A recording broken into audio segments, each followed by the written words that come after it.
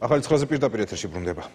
გიორგი მარგველაშვილის შემცვლელი წარდგენელია თამარ სანიკიძე პარლამენტმა უნდა დაამტკიცოს განათლების მომავალი მინისტრი წინამორბედის კურსისა და დაწყებული რეფორმების გაგრძელებას გეგმავს. ვინ არის მინისტრობის კანდიდატი, რომელიც 8 თვის განმავლობაში მინისტრის პირველი მოადგილის პოსტს იკავებდა და რა მემკვიდრეობას იბარებს უკვე პრეზიდენტობის კანდიდატისგან სანიკიძის წარსული და მარგველაშვილის 8 თვიანი მუშაობის ანგარიში თამთე ჯანაძე მუშაობდა თემაზე.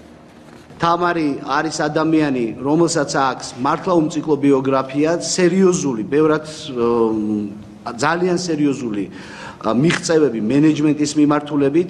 ასეთი შეფასება განათლების მომავალმა მინისტრმა ყოფილისგან დაიმსახურა. დღეს გიორგი მარგულაშვილმა საზოგადოებას თამარ სანიკიძე ოფიციალურად წარუდგინა. პრეზიდენტობის კანდიდატი მინისტრობის კანდიდატის წარმატებაში დარწმუნებულია და ამბობს, რომ დაგეგმილი რეფორმების ბოლომდე მიყვანა ყველაზე მეტად მას შეუძლია.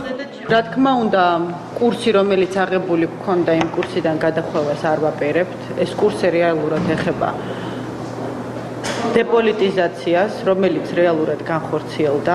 კურსი ეხება ასევე სწავლების ხარისხის ამაღლებას, შესაბამისი საგანმანათლებლო ინფრასტრუქტურის და პროდუქტის შექმნას, მეცნიერების აღდგენას.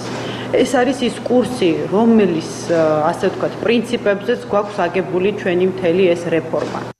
მომავალი მინისტრი განათლებით ფილოლოგია სახელმწიფო უნივერსიტეტის დამთავრების შემდეგ გავლილი აქვს სახელმწიფო მართვის კურსი ქართულ და ამერიკულ უნივერსიტეტებში. მომავალი მინისტრის უპირატესობად სახელმწიფო და კერძო სტრუქტურებში მართვის გამოცდილება სახელდება. მინისტრობის კანდიდატის წარდგენის შემდეგ გიორგი მარგველაშვილმა საზოგადოებას 8 თვიანი მუშაობის ანგარიში ჩააბარა. სისტემის დეპოლიტიზაცია, უფასო სახელმძღვანელოები, მასწავლებელთა ხელფასის ზრდა, სტუდენტების დაფინანსების გაზრდა და უზნეძის ფსიქოლოგიის ინსტიტუტის აღდგენა. ეს ის პროექტებია, რაც სამინისტრომ ბოლო 8 თვის განმავლობაში განახორციელა. ჩვენ მოვახდინეთ განათლებისა და მეცნიერების სისტემის დეპოლიტიზაცია.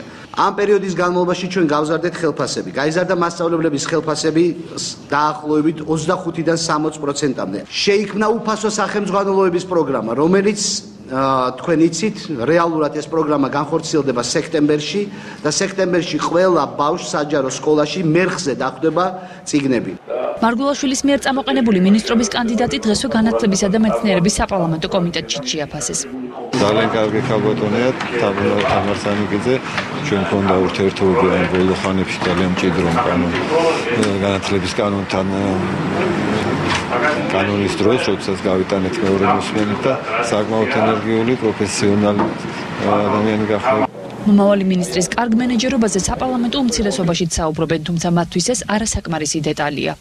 ბატონმა მარგულაშვილმა ისაუბრა დეპოლიტიზაციაზე და მისი ერთ-ერთი გადაწყვეტილება იყო ერთ-ერთი ყველაზე უფრო სწრაფად განვითარებული ბადი უნივერსიტეტის, აგრარული უნივერსიტეტის ავტორიზაციის გაუქმება.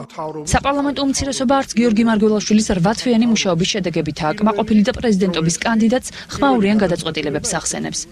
არა, მინისტრი გიორგი მარგულაშვილის ყველაზე რეზონანსულ გადაწყვეტილებად დღემდე რჩება აგრარული უნივერსიტეტისთვის ავტორიზაციის გაუქმება შემდეგ კი აღდგენა. ხმაურიანი აღმოჩნდა გამომცემლობებთან დაპირისპირება, ასევე რესურს ცენტრებთან დაკავშირებული გადაწყვეტილება, რაც საბოლოო ჯამში სკოლის ავტობუსების შემოღებით დასრულდა.